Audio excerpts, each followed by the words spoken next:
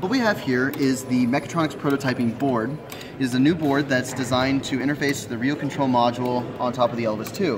What we have here is a rotational to linear converter that a student would build as part of a class. Now the idea is you have three different sensors that are reading the values as it's translated into motion.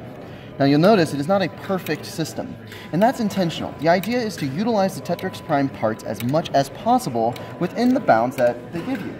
Now, when a student is designing this, you can incorporate different aspects into your class, such as if you suddenly wanted to design the actual cam, you could spend a couple weeks on CAD, then get this system and replace this piece using um, the uh, information for actually connecting the pieces to it, and then you can have a 3D printed part and test your system.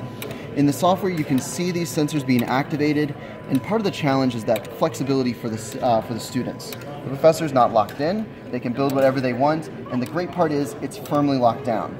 Unlike a standalone system, these are actually firmly attached. You don't have to worry about the motion causing it to fall.